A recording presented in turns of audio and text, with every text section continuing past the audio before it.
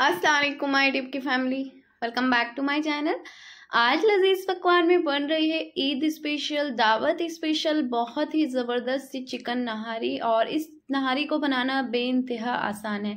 पूरे यूट्यूब पर आपको इतनी आसान रेसिपी कहीं पर भी नहीं मिलेगी तो पूरे टिप्स एंड ट्रिक्स के साथ मैं आज आप लोगों के साथ ये रेसिपी शेयर कर रही हूँ। वीडियो को कहीं से भी स्किप ना करें, पूरा वॉच करें, तभी आपकी जो नहारी एकदम परफेक्ट बनकर तैयार होगी। तो जल्दी से चलेंगे रेसिपी की तरफ़। इसको बनाने के लिए सबसे पहले मैंने यहाँ पर लिया था चिकन तो मेरे पास चार सौ ग्राम चिकन था।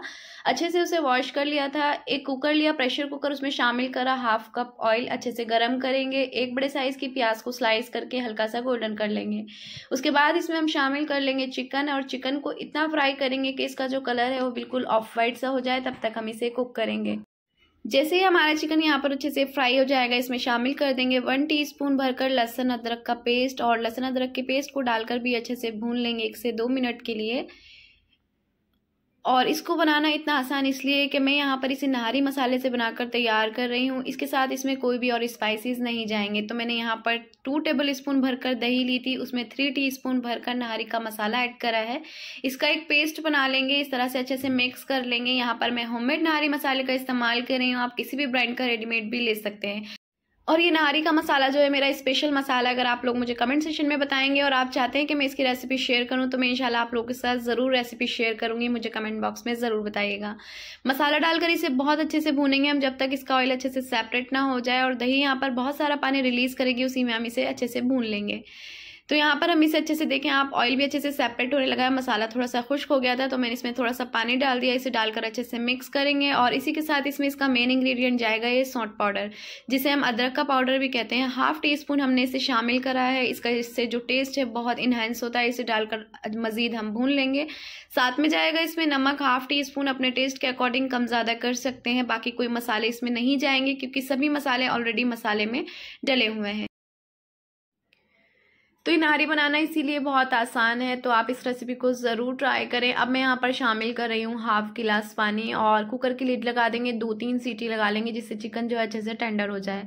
तो चिकन यहाँ पर बहुत अच्छे से गल चुका था, ये मैं आपको चेक कराती हूँ। सिर्फ़ मैंने यहाँ पर तीन सीटी लगाई थी क्योंकि चिकन जो है वो बहुत ही जल्दी से गल जाता है। तो ये बहुत अच्छे से टेंडर हो गया। अब हमें इसका मेन स्टेप करना है, आप इसे ज़रूर फॉलो करें। हमें क्या करना है कि जो भी इसका रोगन होगा, अभी हम इसे दो तीन मिनट और कुक करेंगे, रोगन ऊपर आ जाएगा। तो हम यहाँ पर इसका सारा ही रोगन अलग से उतार लेंगे।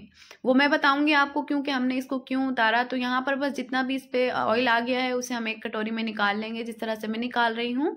ये देखें आप, बहुत ही अच्छे से इस पर रोगन आ गया और जब तक नहारी में रोगन नहीं होगा, तब तक आपकी नहारी मज़ेदार नहीं लगेगी। तो इस स्टेप को ज़रूर फॉलो करें। इस तरह इस तरह करके आप जितना भी इसका रोगन है ऊपर ऊपर का, वो सारा उतार कर एक कटोरी में कर लें और उसे एक साइड कर लें।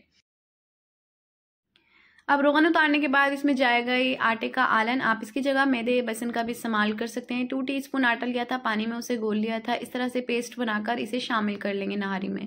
और इसे डालने के बाद इसे बहुत अच्छे से हम कुक करेंगे तीन से चार मिनट के लिए। जो आटा है वो अच्छे से इसमें कुक हो जाए। और ये डालने के बाद आप इसकी कंसिस्टेंसी देख सकते हैं, किस तरह से ये फोम हो गया ये देखें आप। बिल्कुल इस तरह की ही इसकी नहारी की ग्रेवी होती है तो बस यहाँ पर मैंने इसे अच्छे से भून लिया। अब जितनी ग्रेवी आपको इसमें रखनी है, उस हिसाब से आप पानी शामिल कर सकते हैं। मैंने हाफ़ गिलास पानी का इस्तेमाल करा है और बस उसे डालकर पाँच मिनट के लिए हल्के आँच पर ढक कर रख दिया था। तो हमारी ये मज़ेदार सी नहारी बनकर तैयार हो गई है। बहुत ही ज़बरदस्त, बहुत ही लाजवाब बनी थी। इसे हम सर्व करेंगे और ये निकाल लेंगे एक बॉल में। तो अब मैं आपको बताऊँगी कि मैंने यहाँ पर रोगन क्यों उतारा था। क्या होता है कि जब हम नहारी में आटे का या बेसन का आलन शामिल करते हैं तो उससे जो है सारा रोगन उड़ जाता है। इसीलिए नहारी को बनाने के लिए इस स्टेप को पहले ही फॉलो करें कि सारा ही रोगन आप पहले उतार कर रख लें और जब इसे सर्व करें तो ऊपर से इस पर ऐड कर दें। तो अब मैं इसमें शामिल कर रही हूँ थोड़ी सी हरी मिर्ची जूलियन अदरक, नींबू, इसे डालकर आप सर्व करें। इंशाल्लाह आप लोगों को बहुत पसंद आएगी। इस ईद के मौके पर इस रेसिपी को ज़रूर ट्राई करें और कमेंट सेशन में ज़रूर बताएँ कि आपकी चिकन नहारी कैसी बनी।